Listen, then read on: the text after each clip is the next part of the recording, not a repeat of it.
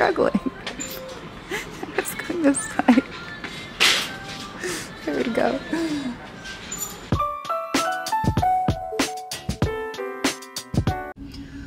All right, well today we are in Chittenango, New York. This is where my mother grew up.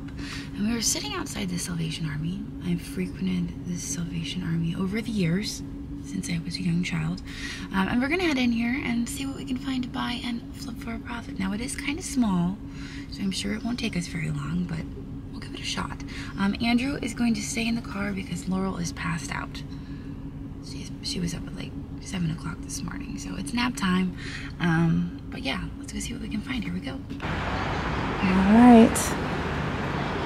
Little Salvation Army. All right, well, it's kind of nice, but it's real chipped out. Made in Italy. It's the lacquer. My cart is like, what? the alignment is off. Okay, there we go. Um, all right, well, they're running lots of sales right now. She actually just showed me this Labor Day thing. I'm not going to be around here for Labor Day, but 50% off everything in the store. That's kind of exciting. It's a nice looking dish. Pfaltzgraff. Of course it's Pfaltzgraff. Gets me every time. I think I secretly have a, have a thing for Pfaltzgraff. There's some rice pattern. Rice pattern bowl. Mom frequents this uh, this place every time she comes down here. What in the world is this? It's weird looking. Toledo. That came all the way from Toledo.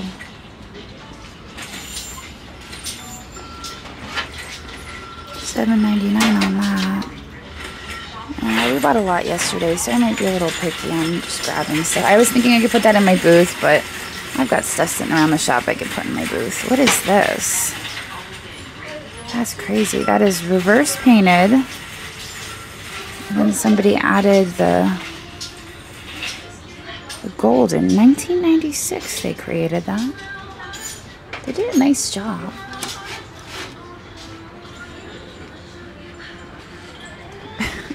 Get my cart to turn.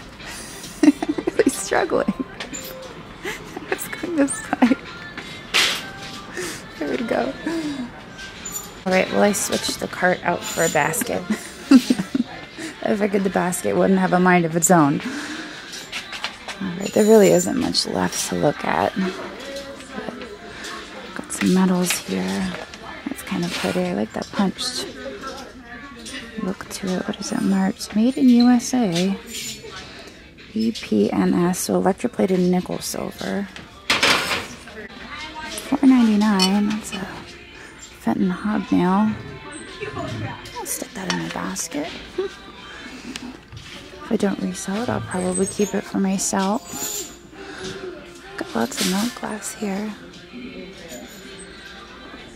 Most Goodwills and Salvation Armies usually do. Here we are in clear.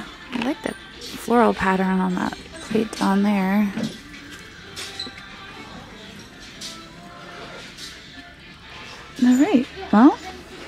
That's it for the hard goods. Well, except for the lamps. Made in England. That's kind of a crazy looking pattern on that. I'm not sure what that little weasel is doing.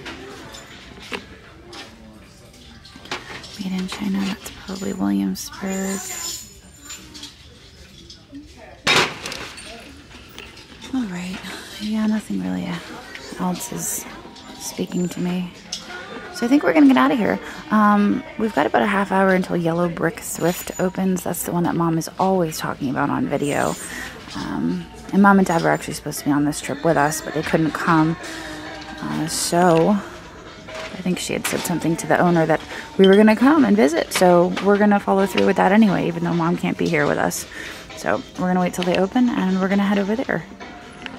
All right, so I decided to look through the cases. Most of the cases and um, our good Goodwills don't really have anything in them.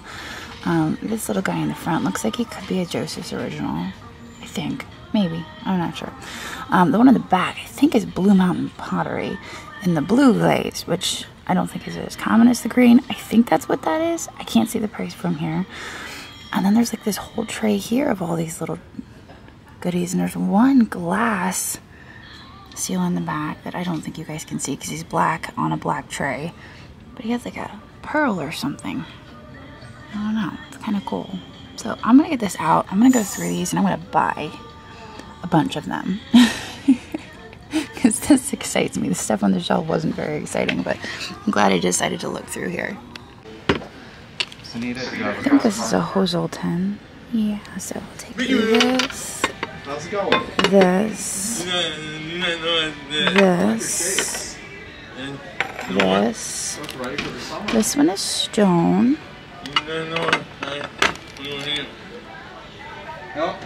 High five. I gotta get you. How about that one? Um, this one is plastic. This little guy is the one I was talking about. I do value you. You are, Charlie. All right. Yes, the iPad right. I take I pictures. think I'm good with these. I'm gonna buy this pile. All right, well, we are back in the truck. Our total spend there at the Salvation Army was $44. And it turns out that all of those seals had blue tags, which were 50% off. So that was exciting. Apparently, they got somebody's entire seal collection. Um, and it was a lot, but those were the last remaining pieces of the seal collection. So hopefully, we did pretty well on them. I'm a little bummed that we missed out on the rest of it, but if that's Blue Mountain pottery, I think we should do pretty well on it. Um, so we're gonna go get Duncan now, and then we're gonna wait for the um, Yellow Brick Thrift to open, and I'm gonna take you guys over there. Andrew's very excited for that. All right, we'll see you guys over there. All right, well, we have arrived at Yellow Brick Thrift. They opened five minutes ago. We had a little bit of a hard time finding it, so lead me that leads me to believe that this is somewhat of a hidden gem. Um, there's not a whole lot of signage. Andrew actually drove by it, and then we came back and we're looking, and we're like, "Where is it?" Small little itty bitty sign. So if you're looking for it, you have to put it in your GPS, and then you have to search for it. But I heard it's worthwhile, so we're gonna head in, and um, we're gonna see what we can find in here. Here we go. Here's the flower frog that I need for that pewter thing I picked up at Goodwill. Yeah, um, Aaron's been very grateful. Those are adorable vintage um, baby clothes. So how is Belco? Good turnout? A few plaques there. Ashtray. Horsehair pottery. Have you been in before? I haven't. I was reminded, Mike, because I'm trying to finish It's up kind my, of like, some my neat state bottles. fair Andrew's still out in the car with Laurel, though. Yeah, so I'm doing it. Like, it's, you know, it's my fun project for the year. Yeah. And my mother-in-law's like, we should go And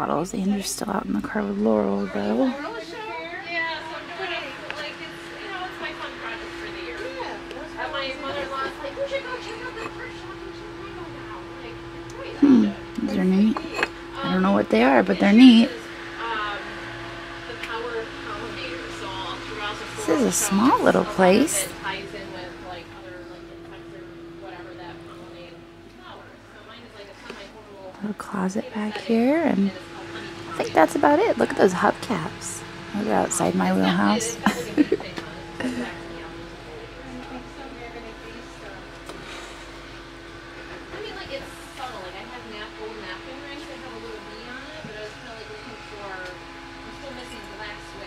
Pewter.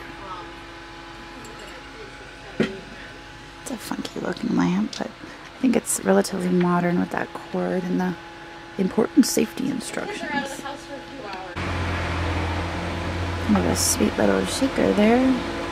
Some oyster shells.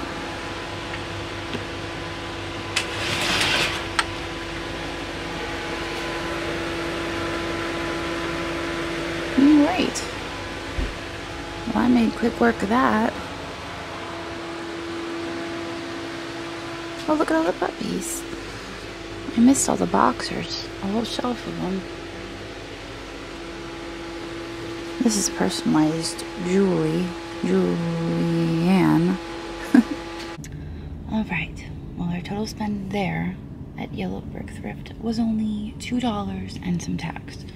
I found that little floral frog, which I needed because I picked up um, an Ikebana that I didn't know was an iguana until you guys let me know in the comments, and I was missing the little floral frog thingy. So, so I've actually walked by this a few times, and every single time I walk by it, my eye goes straight to it. So this time I decided to pick it up.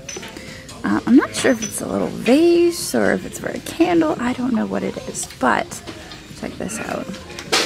It does have a signature on the back. It is pewter, which makes sense.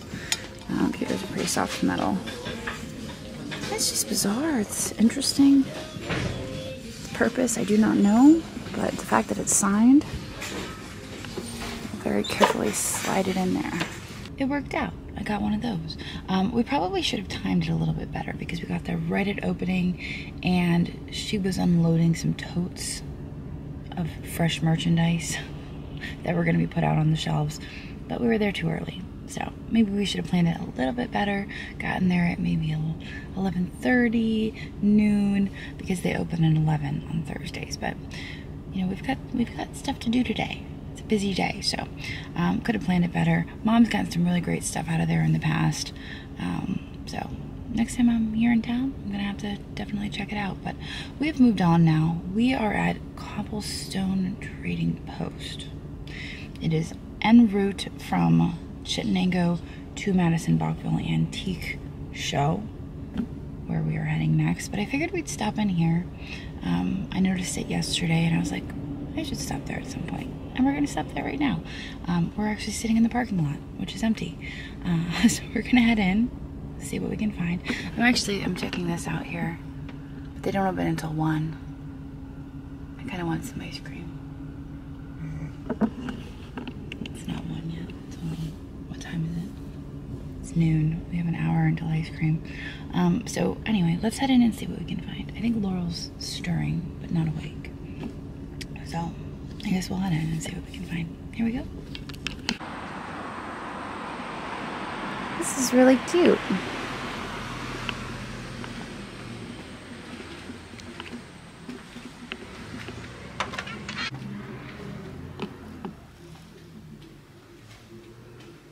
Oh my goodness, this place is so adorable. It is so cute. And it smells so good in here. I'm not even sure what I'm smelling, but it smells so good. I'm gonna head upstairs.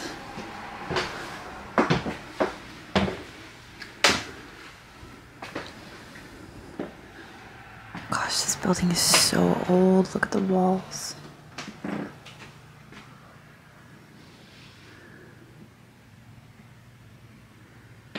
Wow. Super cool.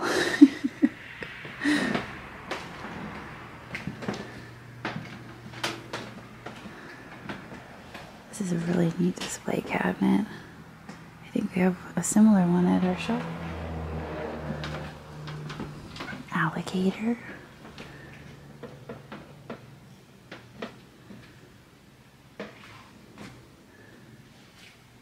Lots of primitives. Oh wait, check this out. How cool is that? Old post office box thing. I'm pretty sure that's what that is. Post office box thing. Money orders. Post over here it says post office. Then all the little slots there.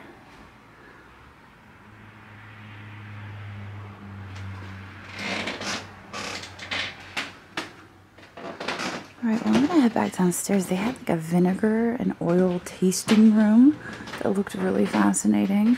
I don't know what that's all about.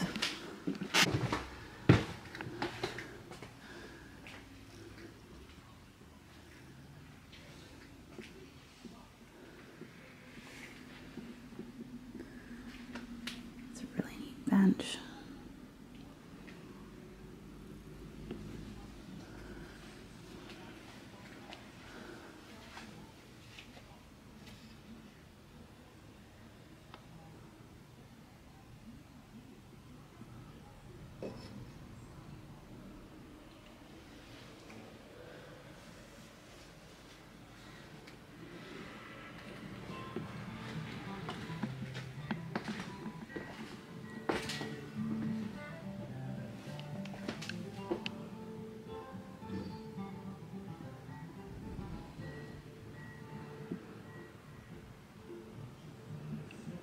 Hmm.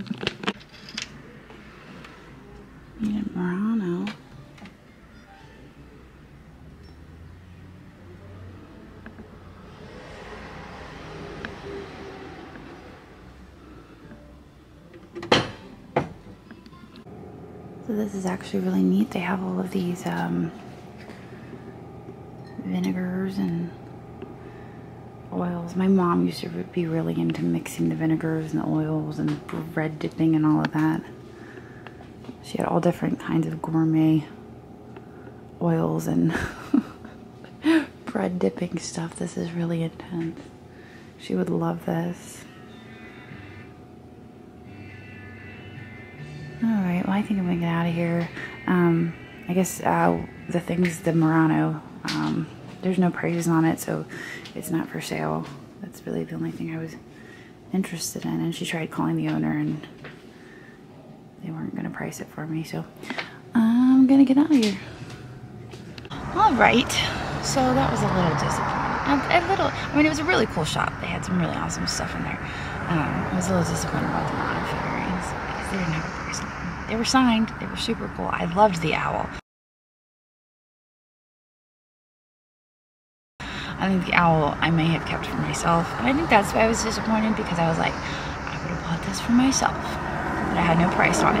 And she did try calling the owner, uh, but they, I guess he was in a place with a bad signal, so they couldn't hear her asking for a price.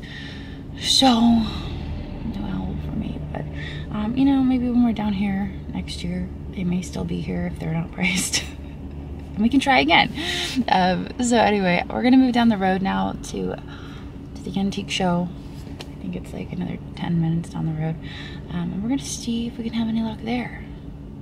Because they have lots of stuff. They probably have a Murano owl there waiting for me. So, um, yeah. Alright, I'm gonna end it here. I hope you guys enjoyed this video. And I guess I'll see all of you tomorrow. So long.